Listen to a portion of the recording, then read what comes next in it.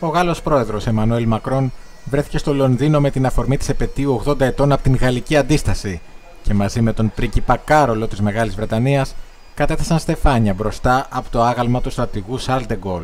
Ο Μακρόν απέδωσε στον πρίγκιπα Κάρολο τον ανώτατο για το γαλλικό κράτος τίτλο της Λεγεώνας της Τιμής για το καταφύγιο που προσέφερε η Βρετανική βασιλική οικογένεια και ο Βρετανικός λαός στον στρατηγό Ντεγκόλ. Εκείνη η νύχτα που ήταν εδώ ο Ντεκόλ έγινε η νύχτα του ανέμου της ελευθερίας της Γαλλίας. Ανύψωσε την φλόγα της αντίστασης σαν ένας φάρος, ώστε το φως του από τις όχθες του Τάμεση να φωτίσει όλη την επικράτεια της Γαλλίας.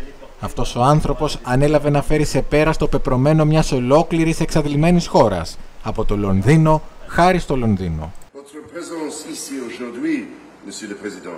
Η παρουσία σας εδώ σήμερα κύριε Πρόεδρε είναι μια απόδειξη των ισχυρών δεσμών που υπάρχουν ανάμεσα στις δύο χώρες μας και τους λαούς μας. Δείχνει ακόμα την αποφασιστικότητά μας αυτή η σχέση να συνεχιστεί.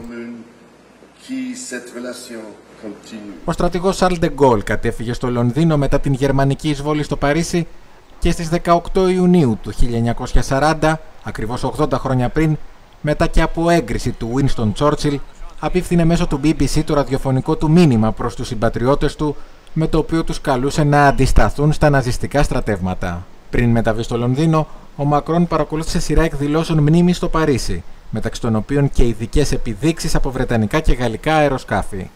Με την ευκαιρία της παρουσίας του στην αγγλική πρωτεύουσα, ο Μακρόν πέρασε και από τον αριθμό 10 της Downing Street για να δει τον πρωθυπουργό Boris Johnson.